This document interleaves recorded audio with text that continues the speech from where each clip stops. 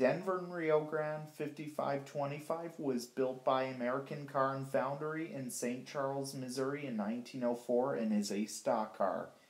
This stock car was once used on Den- the Denver and Rio Grande Railroad hauling animals inside the in the past many years ago like sheep, goats, cows, and some other animals this car used to haul a lot in the in the past.